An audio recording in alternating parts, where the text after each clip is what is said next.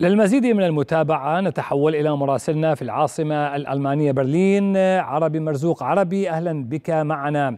يعني اليوم المحادثات لماذا الحديث عن المحادثات بين شولز وبوتين وأنها ليست مسجلة أو مسجلة وما إلى ذلك؟ هل من العادة هل من الطبيعي أن المحادثات بين رؤساء الدول أن يتم نشرها للعلن وبالتالي هناك اتهامات بعدم التسجيل أم أنها ذريعة جديدة للحكومة الألمانية بسبب تأخرها عن التسليح لأوكرانيا كما يرى المراقبون فكيف يرى المراقب الألماني لديك ذلك؟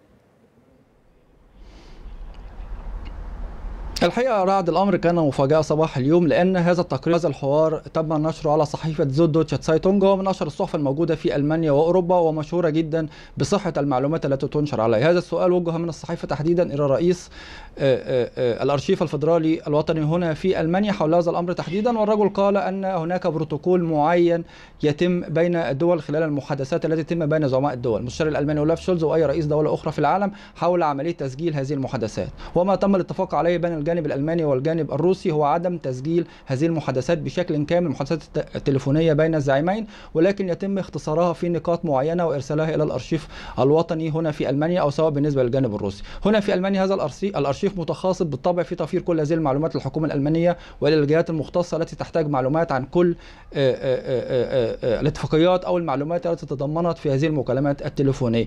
وبالتالي هي أزمة كبيرة هنا للحكومة الألمانية وحتى إلى صانعي القرار الألماني والبرلمان الألماني البوندستاغ لأن لا توجد معلومات حول هذه المحادثات. ربما روسيا هي التي اشترطت هذا الأمر حسب التقرير الذي الذي نشر صباح اليوم بعدم تسجيل هذه المحادثات بين الجانبين. الحقيقة رعد الرجل يعني بعد هذه التصريحات صباح اليوم جاء رد فعل من المعارضة أو السياسيين الألمان تحت قبة البرلمان الألماني البوندستاغ وكل من يجلس داخل البرلمان الألماني البوندستاغ بالطبع لديه معلومات وهو قريب من السلطة والمستشار الألماني بشكل كبير. وهناك من ذهب وقال حسب معلوماته الشخصية في البرلمان الألماني البوندستاغ أن ربما كانت هناك خلال هذه المحادثات يعني تهديد من الرئيس الروسي فلاديمير بوتين المستشار الألماني أولاف شولز باستخدام السلاح النووي إذا تم التعدي ربما على الأراضي الروسية خلال هذه الحرب وأيضا إذا تم إعطاء أسلحة متقدمة إلى الجانب الأوكراني. وحسب تصريحات السياسيين داخل البرلمان الألماني البوندستاغ تحديدا إلى Süddeutsche Zeitung دون ذكر اسمهم بالطبع. لذلك تأخر ربما المستشار الألماني أولاف شولز وفكر كثيرا وقام بالاتصالات التليفونية مع الولايات المتحدة الأمريكية وباقي شركاء الناتو لاعلامهم بفحوى هذه المكالمات لاتخاذ القرار الصح ومن وجهة النظر الألمانية والأوروبية وحلف الناتو لإعطاء الأسلحة إلى الجانب الأوكراني. الحقيقة هو الأمر متشابك بشكل كبير لدرجة أن رئيس الفدرال رئيس الأرشيف الألباني قال أنه الآن الحكومة الألمانية تجري ربما ستجري تعديلات وضرورة إبلاغ الجانب الأوكراني والجانب عذرا الجانب الروسي حول هذا الأمر وضرورة تسجيل هذه المكالمات في المستقبل لأن لا توجد معلومات متاحة هنا في ألمانيا عن فحوى هذه المكالمات.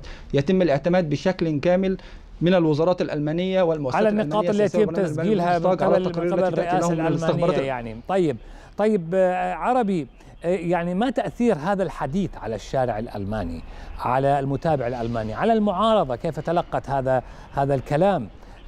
خصوصا أن هنالك أصوات معارضة في برلين لاستمرار الحرب أو لاستمرار الدعم الغربي لأوكرانيا. بالطبع هناك ما زال هناك قطاعا كبيرا. هنا في ألمانيا ضد إرسال أسلحة متقدمة إلى أوكرانيا. حتى لا يشتعل يشتعل الصراع ويمتد إلى اراضي حلف الناتو والاتحاد الأوروبي.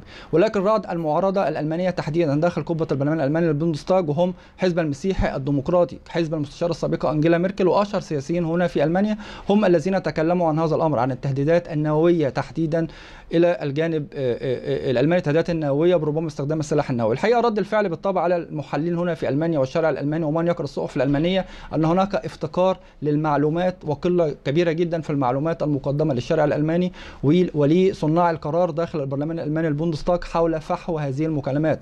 المكالمة بين المستشار الألماني أولاف شولز وبين الرئيس الروسي فلاديمير بوتين قد تمتد إلى ساعة وساعة ونصف وفي النهاية نقاط بسيطة جدا التي نعم. التي تخرج نعم للسياسيين عربي داخل عربي مرزوق مراسلنا في برلين وافر شكري لك لما افضيت من تفاصيل.